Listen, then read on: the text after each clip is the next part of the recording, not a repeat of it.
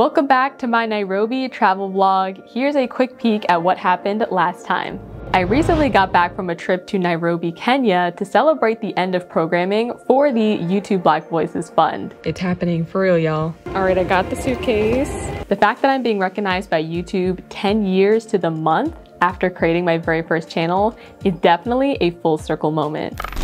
So I just made it to Nairobi. A couple of things kind of stressed me out today. The connecting flights ended up working out, so that ended up being great. But they lost my luggage. Surprise, surprise. I was actually anticipating that to happen. I literally was on the phone with my parents, like during one of my like layovers, and I was like, I bet you they're gonna lose my luggage because I really wanted to take my luggage as like a carry-on. That's why I bought a carry-on bag. But the guy, when I first checked in, made me check my bag. I guess he said it was too large, but whatever. Anyways, so now my luggage is not here and I don't have outfits, but we'll get that situated. Anyways, let's do a room tour in the meantime. Alrighty, so here's the front door. Excuse the echo. And here is the room. First of all, this is like a really good size. I feel like, especially for just, you know, me.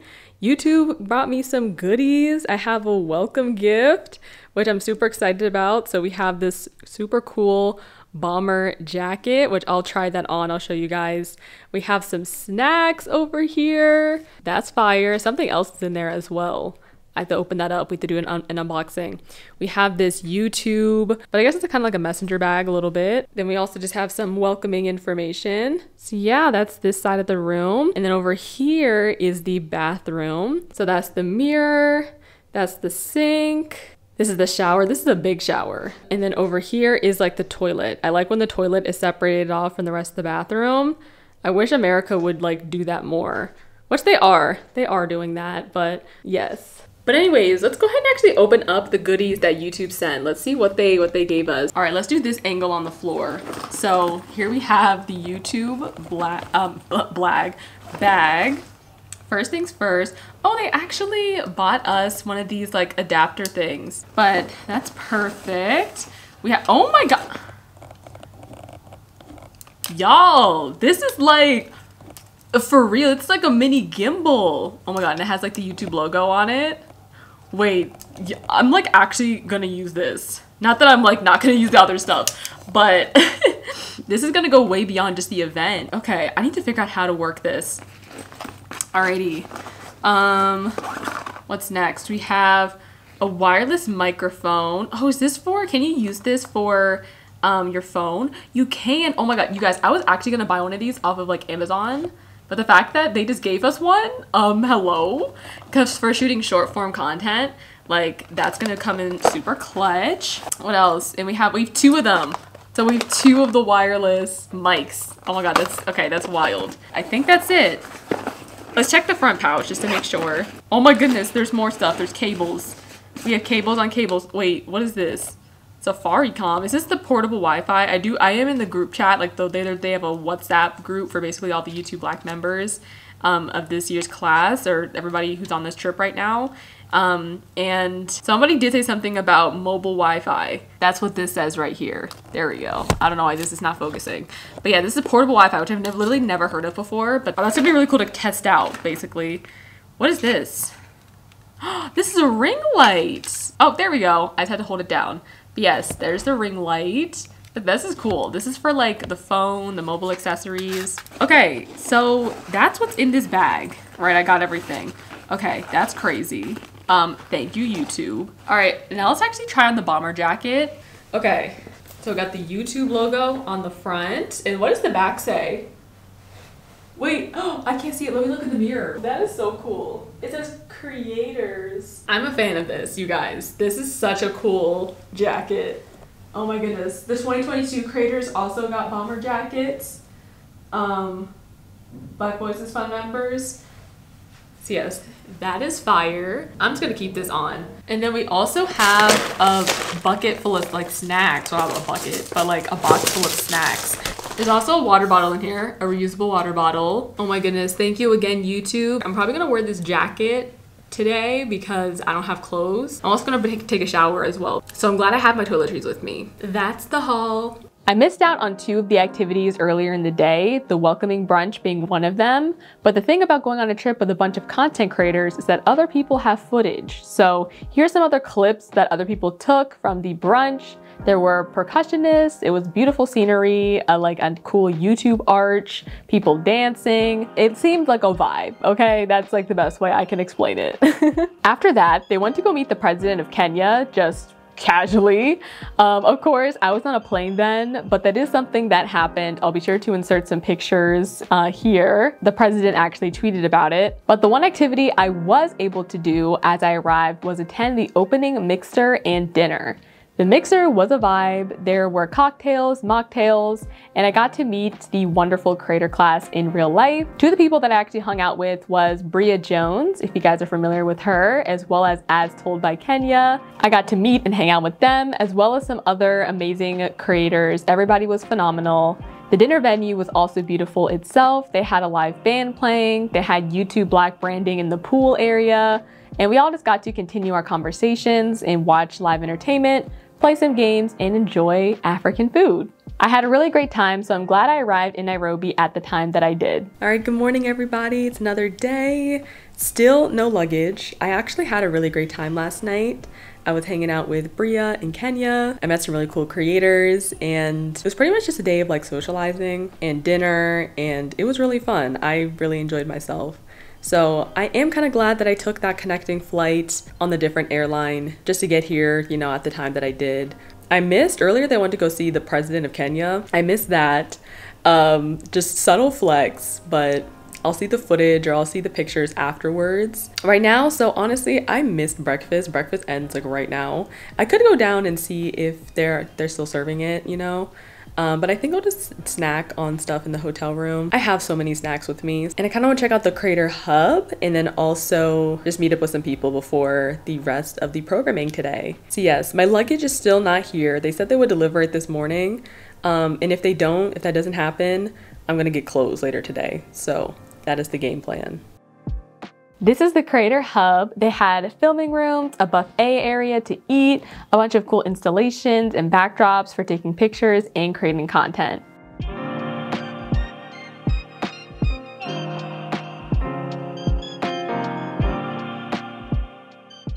Alrighty, so we're about to head to, this is called Creator Day, right? Yes. So I think it's gonna be like a panel and some other things happening.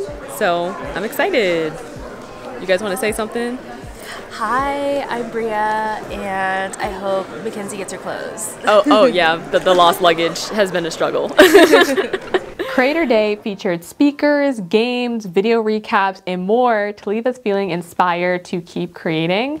I also had a couple of cool channel cameos, so I'll be sure to insert those here. And I'm here in a place I could have never imagined possible.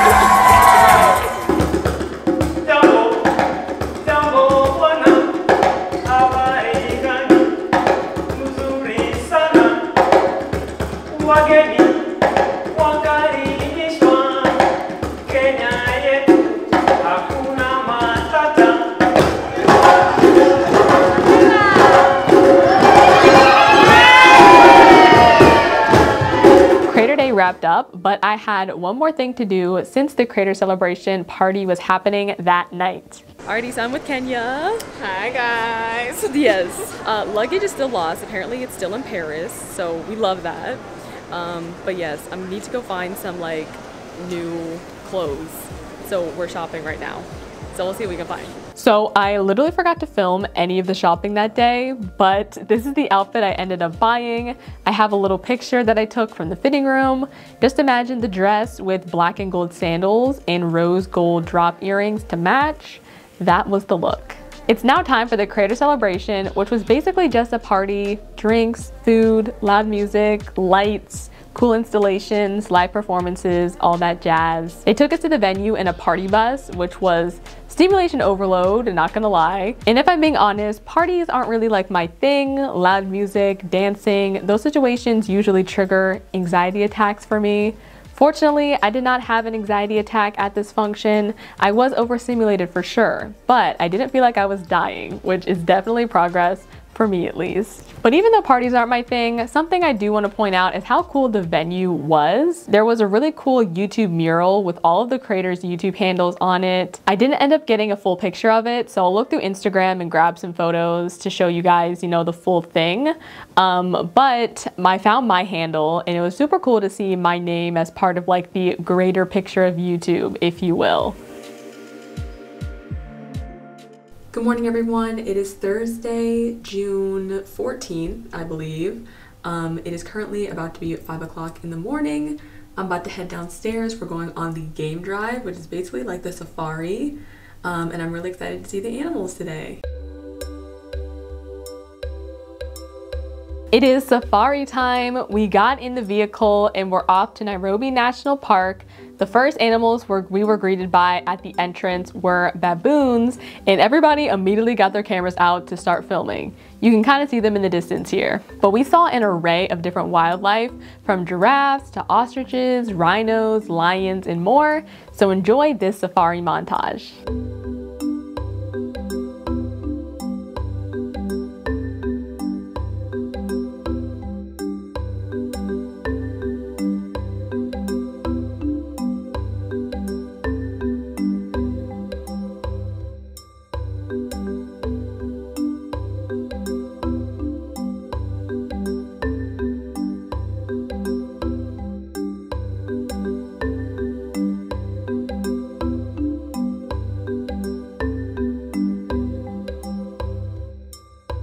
Okay, you guys, so we got back from the uh, game drive or like the safari. This is O'Neill. Hi. Do you want to talk about like, you know, what, what is your channel first of all? Cool. So it's O'Neill Gerald is my name, and Reclaim Your Voice is the name of the channel, but all of it's there in the channel name. Um, I am a vocal coach, so I break down singers. You know, I tell you what fun things they're doing and how they do them and how it affects the music, and I also encourage you in your own vocal life. So yeah, Yes, that's, a, that's exactly. a lot of what I do. All the artistic things. Yeah, all the artistic things. I did watch your breakdown of um, Lizzo's About Damn Time. Oh. I did watch that. That was really interesting. Wow, that was a while ago. Yeah. I Watch it. I love that. I was, a little, I was like stalking everybody. I feel like a little bit before coming on this trip. I think I was too. yeah. but yeah, what do you think about the animals? Like, did you have a favorite? Honestly, sorry, this was a little gross. This is a little TMI. Uh-huh. But like the right, there was a rhino that was. Oh yeah. And it was What you about to peeing, and it was like this waterfall came out of it. I was like, this is Nature it is a wild. lot. Nature is absolutely wild. But like I Did you see the rhino poop too? no, I didn't see that. I heard Oh about God, that. It yes. just kept coming. And it was like steaming too. It was like, what is this? Alrighty, so I'm we're waiting on lunch right now or brunch, but I'm here with Mr. Right Way, what's up, everybody? yes. Tell us what what your channel is about. So I do a lot of video game hunting. Right now, what they consist of is I go out and try to find games the cheap way, the right way, and the best price. So if you want to buy like good video games, like go to Goodwill, find some cheap games, keep what you like, and then sell the rest, and then buy the great game that you want. I love video games. I don't play them on the channel. I just teach collector, I'm more collector type focus, more lifestyle video games. Yeah. So if any of you guys are interested, be sure to you know check out his channel. Yep. But yeah, what are you excited about today? Like what activities? Making content. Making content. Okay, that's fair. I hope I can find a king in the video game store. I hope, hope. All right, let's go eat.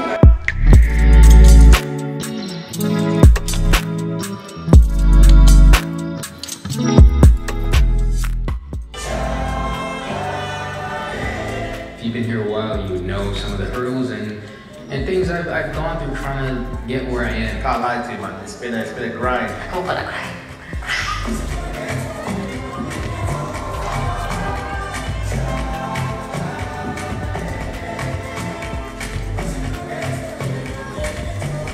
So proud of you, Asmara. You continue to set the example for what it means to be outstanding. I appreciate that. And last night was definitely a celebration. But what was powerful for me was also hearing your stories and seeing creators teaching creators. That's powerful. That really is the end of this program. It truly has been official. Once brunch was over, we had the ability to participate in another optional activity, so I decided to go on the Nairobi City Tour, and we ended up climbing the tallest building in Nairobi. Here is the amazing view from up there.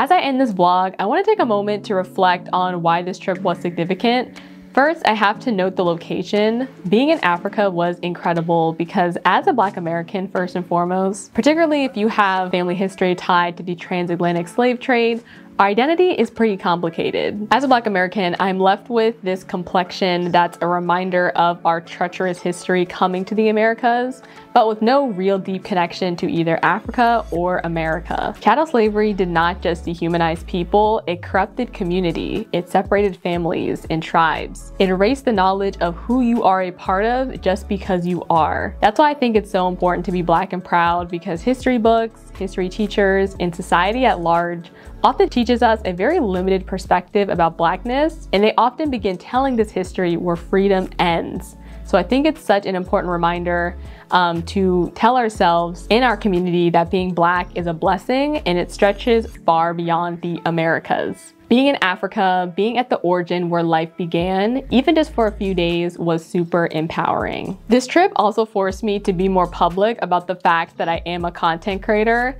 I never talk about content creation in real life really, but this trip forced me to talk about my channel more and to just be more bold about it. I think I don't really share my channel because I don't really think other people are gonna get it, but something that I have to continuously remind myself of is that I don't share for other people to get it. And also by showing up in real life, by talking about what I do and what I create online, it helps to destigmatize the preconceived notions that people have about gaming creators and that people have about YouTube in general and like the content creation space as a whole. You dismantle stereotypes by showing up authentically, by being yourself, and other people really need to see that. It's so powerful for people to see the proof of something that is seldom discussed in society. It's so important that people can see the proof that black women exist in this space, as well as the fact that gaming content does not look one type of way. The gaming audience is not just one type of person. I think it's easier for me to stay like in my bubble because I follow a lot of diverse creators in the gaming space and on YouTube. I follow a lot of different types of content on YouTube as well, but other people may not see, I guess, the diversity in the gaming space. Other people may not see kind of what I see because I've just, I've done the work to kind of decolonize my feed. but other people need to see the proof of what I try to represent with the channel. People need to see more black women in the space. People need to see that gaming content doesn't look a certain type of way. People need to see more casual gamers and so all of that is really important in the mission of my channel, but also with how I show up in real life. And so that's another thing I feel like I really took away from this trip. And last but not least, this trip to Kenya also opened up my eyes to what I'm capable of. If there's one thing I've learned about young adulthood, it's that things change fast and all the time. I'm in a place that is honestly demanding me to be a little bit bolder to step into what's next, but what's next is pretty scary to me, if I'm being honest. I don't always feel capable of stepping into what's next. Um, it's almost like being too big for where I am, but too small for where I'm going. But I think this trip where I had to navigate situations I've never been in before was a first step in revealing the courage and capability I really do have that will transcend into other areas of my life. I didn't think I could fly halfway around the world by myself, but I did. So who's to say what else I can't do and who's to say what other territory I can't reach? So I think that was another important kind of takeaway from this trip as well. Thank you all so much for watching. If you did enjoy, be sure to leave a like and let me know what you think in a comment down below. What do you think was the coolest part of the trip? What was your favorite part of the video? Yeah, I can't believe that I went to Kenya in a trip sponsored by YouTube, literally 10 years to the month from the time I started my very first YouTube channel. I could have never imagined that this would come full circle like it did. I could have never imagined in however many years that this would be happening and that I would have this opportunity just in general. So thank you, YouTube. Thank you to the team. Um, thank you to the partner managers. They were incredible uh, for advocating for us throughout this trip, online and offline. This is definitely an experience I will never forget. So thank you all for watching. My name is Asmara, and I will see you next time. Bye, everyone.